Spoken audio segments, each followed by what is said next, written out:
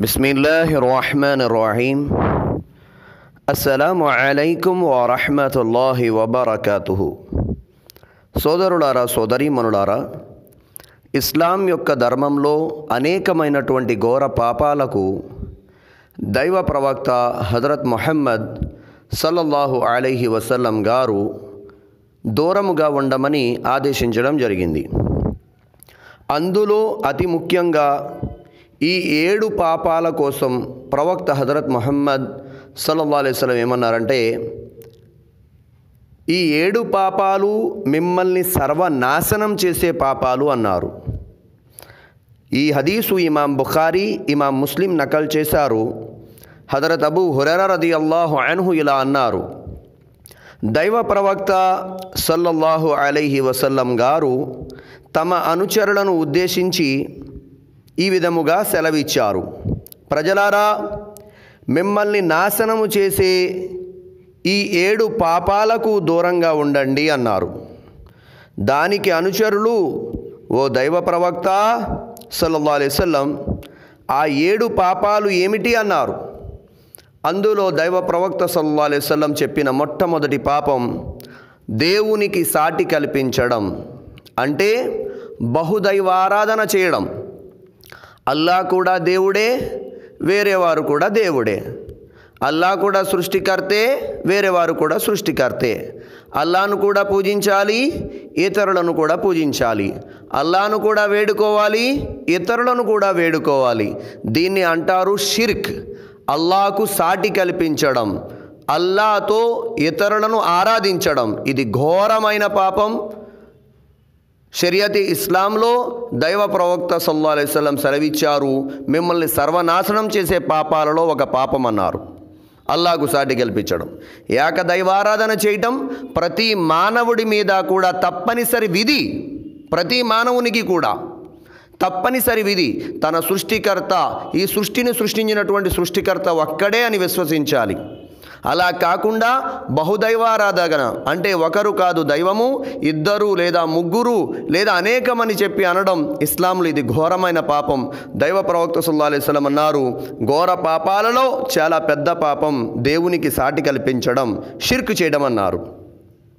తరువాత రెండవ పాపం దైవ ప్రవక్త సుల్లా అలైస్లం సెలవిచ్చారు చేతబడి చెయ్యడం లేదా చేయించడం. ఈ రెండు కూడా ఘోరమైన పాపాలే. రెండు కూడా ఘోరమైన పాపాలే. ఇక్కడ మనం ఒక విషయాన్ని గ్రహించాలి.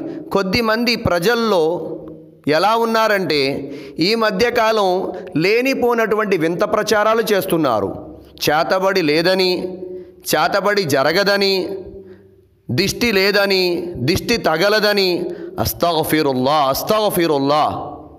ఎలాంటి మాటలు చెబుతున్నారంటే అల్లా క్షమించుగాక అల్లా క్షమించుగాక పూర్తి ఖురాన్ మరియు ప్రామాణికమైన హదీసులకు విరుద్ధమైన మాటలు చెప్తున్నారు. అది కూడా ఎలా చెప్తున్నారు? కొద్దిమంది గ్రంథ జ్ఞానం లేక చేతబడి మరియు దిష్టి ఉందనుకుంటున్నారు అంటున్నారు అలా క్షమించుగాక చేతబడి ఉంది కనుకే దిష్టి తగులుతుంది కనుకే దైవ ప్రవక్త సుల్లా అలైస్లం గారు వీటి నుంచి రక్షణ కొరకు అల్లాని వేడుకోమన్నారు. ఇక్కడ రెండో విషయం. ప్రవక్త వారు ఏమన్నారండి? చేతబడి చేయించడం కూడా ఘోరమైనటువంటి పాపమే చేయడం కూడా ఘోరమైన పాపమే. ఇది మిమ్మల్ని సర్వనాశనం చేసే ఏడు పాపాల్లో రెండో పాపం అన్నారు. తర్వాత మూడవది దైవ ప్రవక్త సుల్లా సెలవిచ్చారు. ఏమని? అన్యాయముగా హతమార్చడం. ఏ ప్రాణిని కూడా చేయరాదు అన్నారు.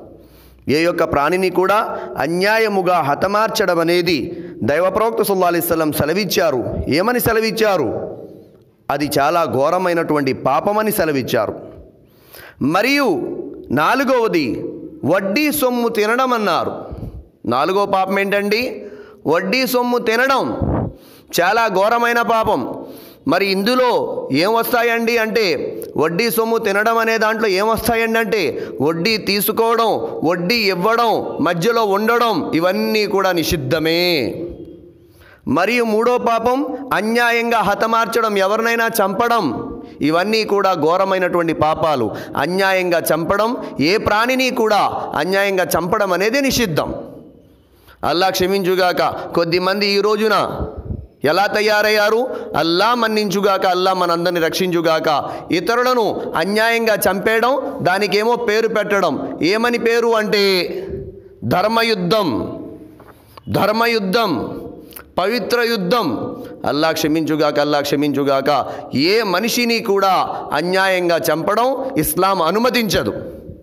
ఇస్లాంలో ఘోరమైన పాపం అన్నారు దైవప్రవక్త సుల్లా అలైవల్లం తర్వాత దైవప్రవక్త సుల్లా అలైవల్లం సెలవిచ్చారు ఏమని? ఐదవ ఘోర పాపం ఏమిటంటే అనాథ సొమ్మును హరించడం. అనాథలు ఉంటారు కదండి అనాథలు.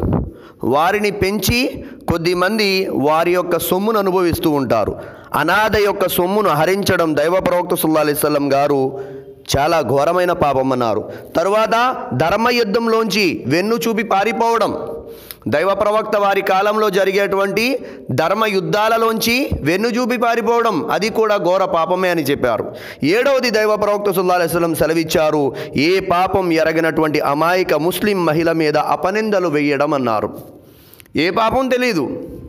అల్లా అల్లా అనుకుని ఏదో తన జీవితం తాను గడుపుతుంది. తన జీవితం ఏదో తాను బతుకుతుంది. అలాంటి అమ్మాయి మీద నిందలు వేయడం కొద్దిమంది ఉంటారు. వీళ్ళు ఎలాంటి వాళ్ళు అంటే భార్యాభర్తలు ప్రశాంతంగా ఉంటే అస్సలు తట్టుకోలేరు అన్నమాట తోడికోళ్ళ జీవితం బాగుంటే పచ్చగా ఉంటే అస్సలు తట్టుకోలేరు. వదిన గారి జీవితం బాగుంటే అస్సలు తట్టుకోలేరు.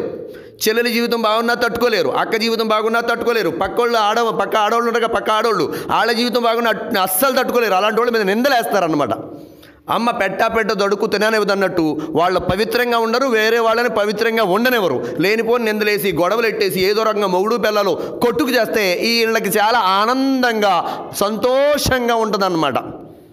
ఇది దైవ ప్రవక్త సుల్లాలిస్తారని చెప్పారు చాలా ఘోరమైన పాపం ఇస్లాంలో అని చెప్పి.